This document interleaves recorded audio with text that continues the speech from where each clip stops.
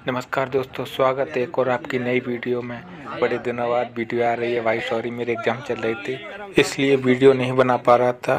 तो अब चलिए के बात करते हैं मैनपुर रेलवे स्टेशन पर। जा, जैसा कि आप सभी को पता है कि यहाँ पर प्लेटफॉर्म की लंबाई बढ़ाई जा रही है।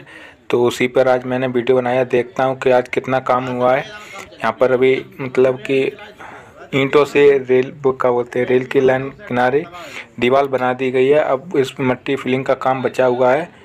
और यहाँ से जो अस्पताल था, मैनपुरी रेलवे स्टेशन पर, वो भी बन चुका है और हेड क्वार्टर भी बन चुके हैं यहाँ पर। बस अब इसकी लंबाई बढ़ाई जानी है, इसके बाद इस पर लंबाई बढ़ाई जाएगी, इसके बाद फिर इंटरलॉकिंग का काम होगा, उसके बाद ये पानी का भी सिस्टम यहाँ पर भी पूरे होगा और अभी तो यहाँ पर अभी ईंटों से ही बनाई जा रही है।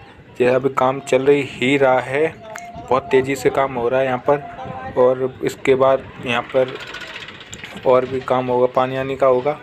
धन्यवाद वीडियो देखने के लिए। अगर आपको वीडियो अच्छा लगे तो प्लीज़ या सब्सक्राइब, चैनल सब्सक्राइब करें और लाइक करें, शेयर करें और वीडियो को ज़्यादा से ज़्यादा शेयर करें।